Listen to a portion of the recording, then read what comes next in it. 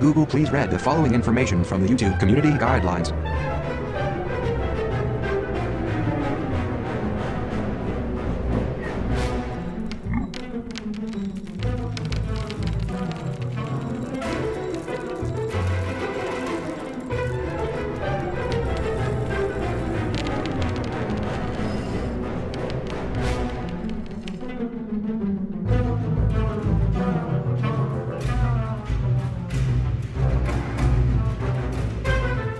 Hawaiian baby wood rose seeds are something that I've talked about in another video, which are very similar to morning glories. They're in the same family. However, Hawaiian baby wood rose seeds actually contain more uh, psychoactive alkaloids than these, which is something that not everybody knows. The main active ingredient in this would be called LSA, also known as ergine. Now, one of the primary factors that leads people to wanting to explore this compound is simply due to the fact that it is legal. In many places, you can actually pick these up just in garden stores. Now, I don't recommend that. I must preface this video by making that very, very clear, particularly because when you buy it in garden stores, they're not for human consumption and they can be coated with a poisonous material. People claim stuff like methyl mercury is coated on them, which brings me to the next point. Another huge reason why I couldn't advise anyone watching go out and try these is because they make you puke. And it's not just like say an ayahuasca purge where it can almost feel like you're you're vomiting out just negative energy and feelings and, and you feel better both physically and mentally after the purge.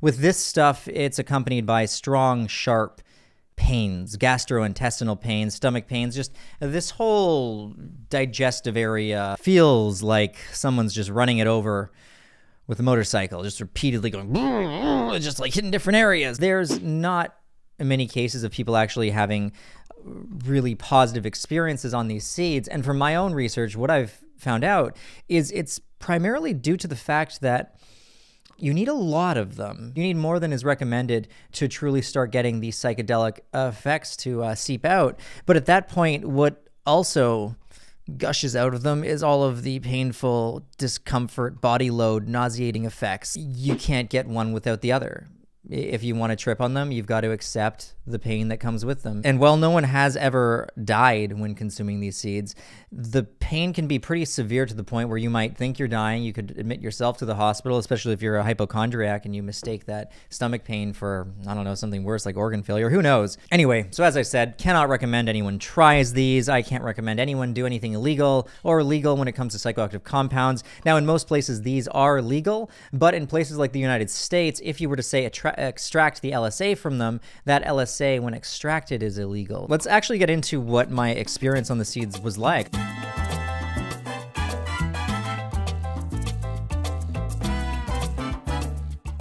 Uh, this evening, I was supposed to meet my friend uh, Richard at his house. He had a few people coming over. He kind of lived at the heart of downtown, so everyone used to just always meet up at Richard's. And I was all excited about telling them my new discovery of these legal seeds. I was trying to convince them to try them with me, and they all looked really weary. There was uh, myself, there was Richard, there was the other Richard that they called Evil Richard. I'm not sure why. And then uh, I don't know who's comfortable with names, so we'll just call him uh, Len. And then there was Evil Richard's girlfriend who was uh, meeting us later. And so I passed it around the three of them, and they all gave it a sniff, and they were like, "Hmm, interesting, Adam. Now, how do we know that this uh, this new little concoction, this potion you have made, how do we know it's not going to kill us? And I was like, come on, guys. I brought enough for everybody. It's going to be a fun night. I mean, these are the guys that I tried LSD with, or at least the one of them, um, for my second trip ever, and his his first, I believe. So I thought that we were on the same page when it came to exploring the depths of our minds, exploring within the realms of human consciousness, which can take you down some very interesting, interesting tendrils that attach into other people's minds, and I'm going nowhere with this. Sure enough, they decided that they were going to use me as a guinea pig, and they just said, "Look, what we're going to do is you're going to try it first, and if you have a good time, then uh, next time you come over, man, just bring some of those seeds for us, and we'll all trip." I was like, "Okay, fine, I'll try this." Twenty minutes later. Evil Richard's girlfriend showed up and she arrived with presents. I immediately started to regret taking it because when she arrived, she was like, Hey guys, I just got from my dealer this brand new. Wait, I need a girl's voice. He gave me this brand new designer drug. It's supposed to feel like MDMA, but it's legal. And I was like, whoa. And then Evil Richard was super down. They kind of looked at me like, Yeah, Adam, that sounds a lot better than this gunk you just tried to feed us. I had never heard of it before. It was something like 2CE. Obviously, I know what 2CE is now. She had enough for two people to have like a good trip. So she had two pills that were 20 milligrams each of 2CE. Now, keep in mind, I was slowly waiting for the effects of the morning glory seeds to kick in. We were all like, well, we all kind of want to try the 2CE. I mean, sounds great. To be clear, the dose that I took of the seeds, it was about 350 seeds worth. That is definitely a relatively decent uh, dose. Plus, I had extracted it out of them, which could have made it more potent. It was stupid. The whole thing was stupid. Don't advise it. This is one of those what not to do trip stories. Anyway, she uh, she cut up the pills, so you know all four of us could actually try one. And I thought, okay, great. Now that at least I've got this 10 milligrams of 2CE in me, which I've never tried before either, I will for sure at least feel something. Uh, I was probably now around 40 minutes into my experience, and the effects were starting to come on slightly. I do recall that the very first inkling I got of psychedelia wasn't psychedelia, it was actually physical effects where my gut just hurt. You don't know if you've got a shit, fart, or puke, and it's just kind of like a throbbing ache. I'm just feeling very similar to how Albert Hofmann described his extract. I was feeling very tired. Tired and sick. Now, it was around this time that uh, my girlfriend arrived. Jasmine, she came in and she was supposed to give me a drive home. So I, I informed Jasmine on what I had done. And she was all like, oh, yep, there we go. Classic stupid Adam making stupid mistakes. Oh boy, got to take care of this dumbass again. I'm sure that's what she was thinking. I spent a solid 40 minutes just sitting on the couch, one hand on my stomach, eyes closed kind of in a little bit of pain and just being in this weird, confused zone where time just slipped by actually quite fast. And I wasn't really thinking about anything. I could describe this best as mindless.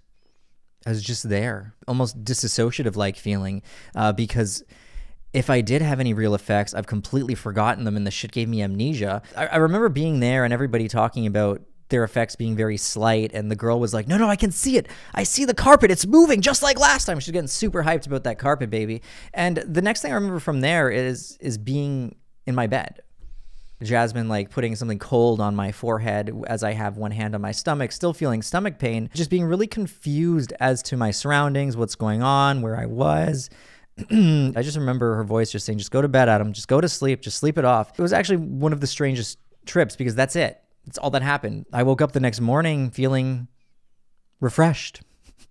I understood that by mixing it, I changed the effects. I'm sure the combo made me even more nauseous. What a stupid idea. I tried Morning Glory seeds two more times after this with slightly lower doses. I believe I tried them again at 250 seeds worth, and all I got was anxiety and nausea from it. Uh, that's actually the most I've ever gotten, which leads me to believe that the actual psychedelic trippy effects that I was getting was either from the 2CE synergizing or it was just the 2CE completely. So, what does all this mean? How come the seeds never really did anything to me? Well, it might mean nothing, or it could mean that a lot of the seeds that are out there just aren't very potent, or perhaps they're actually selling the wrong ones. Now, this video right here actually acts as a prequel to a live experience video that I'm intending to do, and this is because I'm trying not to break my promises. Four or five months ago on Instagram, I dumped out a bucket of seeds and I said to you guys that there was a live experience coming soon on Morning Glories, which just never came to fruition because of a lot of crap in my life and, you know, usual bullshit excuses that YouTubers have. Well, I could be shooting myself in the foot here because I still don't know when that video is going to actually come out. We've got a massive laundry list of videos that we're currently editing, but regardless, that video will be coming and we're going to put this to the test. We're going to find out if it is possible to trip off a normal amount of morning glories just because of science and human curiosity. And I mean, why not? Let's see if this stuff works. If it's not gonna kill me and I might just throw up and shit, then sure, I'll give it a try. But anyway, please let me know below in the comments if you are enjoying these faster, less fancy edited videos. The reason why I'm doing these now is because we've decided to put all of our efforts into working on one high production value video per month instead of like two or three kind of okay ones. However, because the way our channel channel works, we can't get away with just releasing once a month. So I've decided to go back to my roots. A lot of you guys probably don't remember this, but when I was first starting the channel, there was a good chunk of time when I was actually releasing two videos every week. And now that we're going to be focusing on just one really high production value one, and videos like this only take me, I don't know, maybe like three hours to edit and then 30 minutes to film, well, this opens the door for me to release a lot more content. Let me know below if you enjoyed the story and if you are enjoying the direction this channel is going. Of course, you haven't got a chance to see one of our super high production value videos yet. Um, that'll be coming soon. I can't wait to hear what you guys think about it. If you did enjoy this video, make sure you leave it a big thumbs up. And I'd also like to give a huge shout out to our patrons. It's thanks to you guys that I'm even able to keep making content. You are the reason why I'm on YouTube. You guys are all supporting my channel. I love you guys. Thank you so much. If you appreciate what I do and you want to support the channel, follow the link over here to our Patreon page and join the family. And as always, make sure you test all of your substances before you consume them. There is a testing kit link in the video description, and I will see you guys all in the next video. I'm actually about to go on a little bit of a vacation right now, and Jasmine's kind of pissed at me and she wants to murder me, so I gotta really hurry up and finish this, and yeah, I better go.